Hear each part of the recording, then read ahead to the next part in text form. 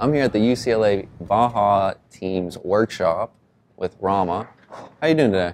Good. How are you doing? I'm good. Uh, what's your role on the team? So I'm the co-technical director of Bruin Racing Baja. Okay, and what does that role entail? So that role entails mostly deciding the high-level design of the vehicle.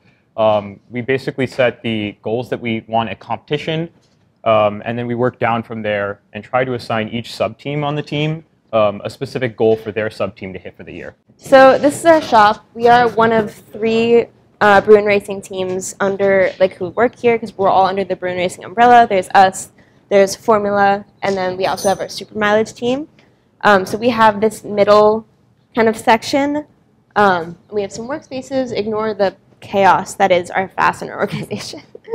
um, and we have a lot of our electronics is right there in that cart. Um, we have more work tables, more electronic set tables over here, um, just because we do have to isolate that from some of our um, metal work hmm for the sake of pretty And then, how important is organization for the team? so important. I can't count the number of times where I'll be packing for like one of our drive days where we go out, because that's also kind of under my purview is organizing testing days, drive days, etc. Mhm. Um, so I'll be doing like kind of the general tools packing the night before, and I'll go into our drill thing right there, and there will be no drills. And I'm like, guys, where are the drills? um, sometimes like other teams like steal them. Sometimes they just keep- are left out on the tables. We found them down in like the machine shop at some points. Um, so organization honestly is key because I've spent half an hour looking for drills, which is half an hour. I could be working on the car or doing literally anything else. um, so I agree. Organization is What are your goals for this season? So for this season, we're really hoping to get a top 10 finish Okay. overall, top 10% to be exact. Um, yeah, that's what we're hoping for. All right, and what competition are you going to? So we'll be at Arizona, and we'll also be at Maryland. And I see that you were at Williamsport. We were at Williamsport last year, yeah. We did place first in business presentation. Okay. We're very happy about that. Are you ready for business presentations this year? Yeah, we're actually we actually just finished practicing, All right. ready for our presentation virtual on Thursday. This is this year's car, This is this year's car. Yeah, this is what we'll be racing in Arizona in about a month. All right, and then what, is, what was all the work that got to this point right here? So this is what we like to call our rolling car. Um, so everything from suspension to driver interface is uh, pretty much like finalized. Um, there's some small tweaks here and there to be done, but um, beyond that, that's what's on the car so far. So what's different about this car from so. from other cars or last year's car? So I was last year's electronics lead. So I'm personally very proud of what my successor has done with this year's electronic system. It's much more robust in terms of data acquisition. Um, they're doing some really cool stuff with like telemetry, like live pushing of code. Um, we're having a more robust dashboard this year for the car, and it's kind of just overall a better system. And I'm really excited to see it actually get put into use, just because it's like been my baby the past couple years, and so it's insane to see it go from like a concept to a working system, and then watch that iterative design like kind of grow and grow each year. Okay, any different challenges with the new design? I would Thanks, say we just have a lot of different sub teams all iterating with some pretty big design changes at the same time. Mm-hmm. So we're seeing new suspension parts, we're seeing redesigns for some of our DI stuff, we're seeing the new electronic system, we're seeing a completely shrunken chassis going like from a driver height of five six to five three on average. So it's just we like side out of the center shaft. It's kind of just all of these different changes coming in at once, and so we've been facing some challenges integrating so far, um, but we're working through them kind of day by day, getting through piece by piece, and it's it's all coming together. I'm very excited. So this year, one of our main goals was to reduce the center of gravity. We had a lot of rollovers last year. Okay. Um, and we also wanted to cut quite a bit of weight. Uh, the biggest challenge with that, uh, we really wanted to shrink the form factor of the vehicle. So you can tell from last year's car um, to this year's car, uh, there's quite a bit of shrinkage in almost all dimensions, height, width, and length. And the most difficult part about doing that is uh, integrating all of the subsystems together. So that was the most difficult part for us. So you're ready for less rollovers this year, hopefully. We are we are hoping for less rollovers. Yeah, uh, the ride height and the actual center of gravity is reduced a lot, um, so we're expecting less. But you never know with competition. And are you a driver on the team? No, I'm not a driver. Oh, do you wish you were or no? Um, who wouldn't want to drive this car? It's awesome. we do tend to let everyone drive, but I'm not the competition driver. Oh, okay. And then where do you guys test? So we test um, a little up north near Pyramid Lake, a place called Gorman, which was where last year's competition yeah. was. Yeah, that was home turf for us. Yeah, we test out there. Um, sometimes we go to um, other state parks around the area. Okay. Yeah, we try to get as much off-road terrain variation as possible. So have you done any testing yet or no? So on this car, not particularly. Um, typically, at this point in the cycle, most of the testing happens on the old car. Okay. Um, and the testing for this car will start as soon as the car is completely running. What does make your team unique? The way we approach the design of the vehicle and like our design, um, I would say that electrically, we've got a lot more going on than most Baja teams. I don't know. You can you can probably see all the harnessing that's gone on. This is about like a tenth of what will end up in the final car, and that's everything from like lots of data acquisition systems. Um, we run an eCVT, so this is a little. It's an electronic variant of the traditional CVT transmission. We love collecting all the data, making desi- data-driven design choices. Um, so like last year at competition, we got about a gigabyte, um, 30 million lines of data from Endurance um, at Pennsylvania, and Okay. a lot of that data has uh, driven design decisions this year. Awesome. Yeah. Who are your biggest competitors on site? Biggest competitors on site. Yeah. Um, we have a friendly rivalry with SLO, just Okay. another SoCal team, and they Yeah. also run an E eCVT. Okay. Um, so we like to consider that a friendly rivalry. And beyond that, I mean, I don't think we've ever been like these guys. We're out to get them. You know, it's not really like that. Um, yeah, generally we just look at where we are in the leaderboard, and the surrounding field is kind of like our competition for endurance weekend. yeah. Yeah, that's how it usually ends up. Hey, what's your favorite event at Baja? So my, my favorite Baja event, um, obviously endurance. I think Right. endurance is awesome. It's the like the pinnacle. It's the last part of the weekend. Um, but if I had to choose another dynamic event, it would definitely be um, rock crawl. I think rock crawl is always really awesome to see. Yeah. Yeah. especially the teams with the reverse gear. That's when that's that that really comes into play in rock crawl. So that's It always does. awesome. I've actually never seen a sled pull, Really? so I just happened to go to all the competitions in the With- past that we did um, the hill at the climb? hill climb Yeah. instead. And so I've seen a bunch of hill climbs. The hill climb is super cool, but I've never seen a sled pull. So I'm excited to see some cars tip back because that's what we did.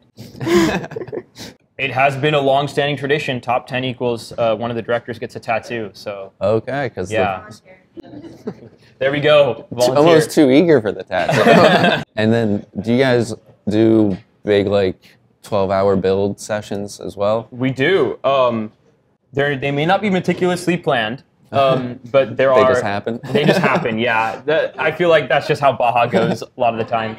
Last year, when we were really putting in work developing the eCVT, because last year was the first year that it ended up like fully working to a point that we were satisfied with it. Oh. We would do in the morning, get in at 9 a.m., and leave the next morning at 5 a.m. And we'd pull like that once once a week. Okay. Um, so it was pretty brutal for a little while, but now we have like a, a running and working system. So we're hoping not to do that anymore.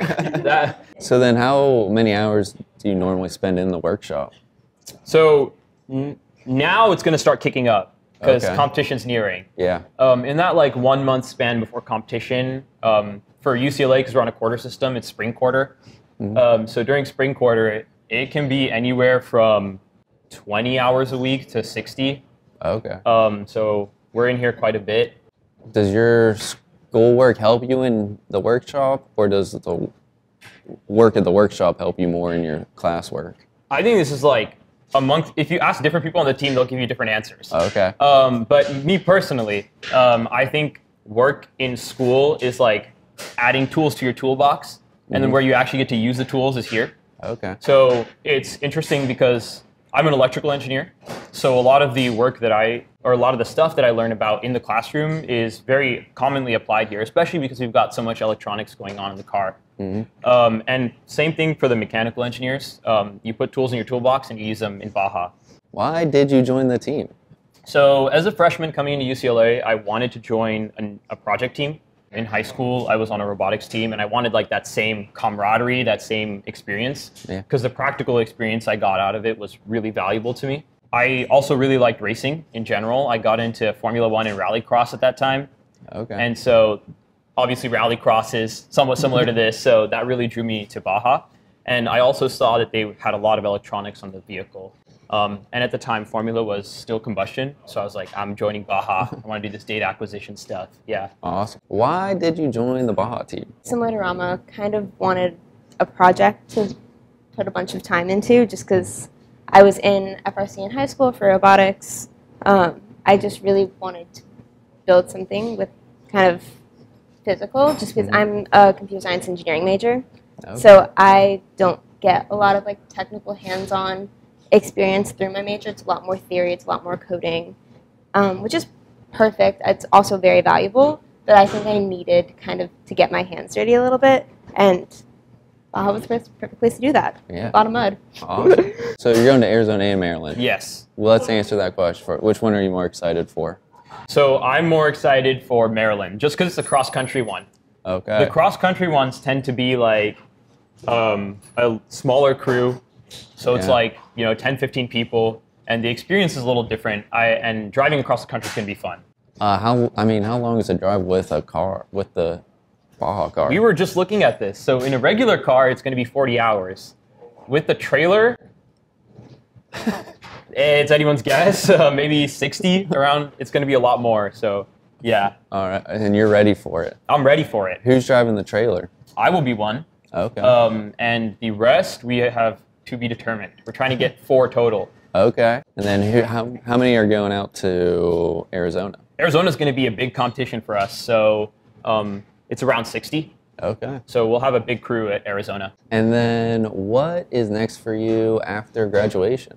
Uh, so I'm currently making that decision. Okay. So I've been doing the grad school versus industry debate recently. Right now, we're leaning towards grad school. okay. Um, so that I'm super excited for that. It's a um, specialized program for control theory, which sounds really sick. Would you stay at UCLA or go somewhere else for grad school? Uh, I'm actually looking at London. London. Okay. Yeah. Nice. so, um, Why That's- London? because Imperial College has one of the best programs for this specific like subset of electrical engineering. That's awesome. Next after Baja, um, I do want to do my master's here Okay. um, at UCLA. And after my master's, I want to go into either um, aerospace or the automotive industry. I want to continue doing racing, but careers in racing are few and far between. So we'll see where that road takes me. Well, once you get that top 10, doors will be opening up for you. I hope so. I hope people come calling. Oh, yeah. Yeah. And then any crazy road stories? Last year, actually, we drove from here to Pennsylvania. On the way back, we had a bunch of seniors drive the trailer. It's like a little tradition. The seniors get a little road trip and they get to bring the trailer back to um, UCLA.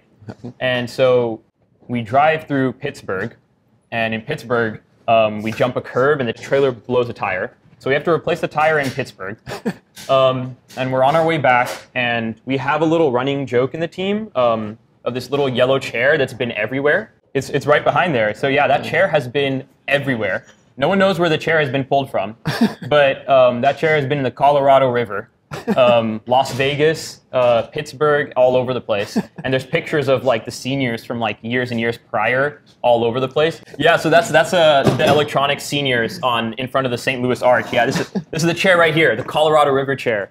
Um, on our way back, they went through Las Vegas, and they had to stop in Las Vegas. And I heard that was a very harrowing experience for them because they booked a hotel in a pretty seedy part of town. so they they actually couldn't sleep in the hotel room. They had to sit outside the um, trailer with a, a little metal pipe to defend the trailer because people were trying to rob us. really? Yeah. People were trying to break into the trailer. So, um, yeah, they took shifts sleeping in the car with one guy sitting outside with a little metal pipe. So that was uh, quite the experience coming back from uh, Pennsylvania. Yeah, that's a that's a rough one. Yeah. Did they, did they have to fight anybody? Or was- Thankfully not. Okay. Um, they good. got they got a little tip off from the security guard at the hotel that they should change hotels to a different part of town, and so they swapped later in the night. Good. last year before California Comp, we're relatively nearby, only an hour away from Gorman. So we packed up and moved out the day before uh, to Gorman. And um, at the time, I was a project engineer and I was designing the electronic system. So it wasn't really quite tuned for competition yet. So we were tuning it um, at like two in the morning, and the managing directors had told us the night before that they would be here with the Penske or be here to pick up the Penske at three or four in the morning, and they wanted us to load up the car into it once we were done. Yeah. So we load up the car, and it's three in the morning, and we're like, wait, they're gonna be here in an hour. What if we just wait for them and, and scare them in the trailer? so we had a, a group of like eight people sleeping in the the, pe- the back of the Penske the night before comp. And the directors come in, they open the trailer, and we're all just like knocked out. And two of us are awake enough to like scare them. And he, he just looks so done because he's also been up late. And he opens the trailer, he's like, you guys forgot to strap the car in. And I was like, oh, that's a little bit of an oversight. Um, so we got the car strapped in for them and then we moved out. But that was a little, a little fun story from last year. There's a little picture of all of us sitting in the trailer after we've scared them. Yeah. And we're all joyous. And the direct, they're, they're not joyous. yeah, they're like, we got to drive this truck at five in the morning. So we have a famous staircase up here uh, called Janss Steps and it basically leads up to like that iconic UCLA picture of Royce Hall that you see every time you search up UCLA, and it's a huge flight of stairs. And last year, after graduation photos, the seniors, I guess they just thought they had nothing to lose, so they were like, "Hey, what if we push the car down the staircase?" So they push the car down the staircase with nobody in the car, and and somehow it goes perfectly fine. The car stays straight, and um, so yeah, that's one thing. And another like competition related thing was on one of our first um, ECVT cars, uh, one of the programmers of the car thought it'd be really funny the night before competition to push like new code to the car that would basically just flash the error LED randomly. So like we were at competition and we see the error LED flashing and we start freaking out because it was working perfectly fine the night before. Yeah. And we're sitting there debugging this like error LED, trying to find the error for like an hour. And then he shows up from his break and he's like, "Oh, that that's really funny. I added that last night. It just blinks randomly." And so we're like we're like jiggling wires trying to figure it out. And we're like, "Oh, it's blinking whenever you shake this wire. It must be loose." But he comes up and he's like, "Yeah, no, I just programmed it to flash like randomly." Yeah. So there's a lot there are a lot of pranks. We love our, our pranks on Baja. I like it.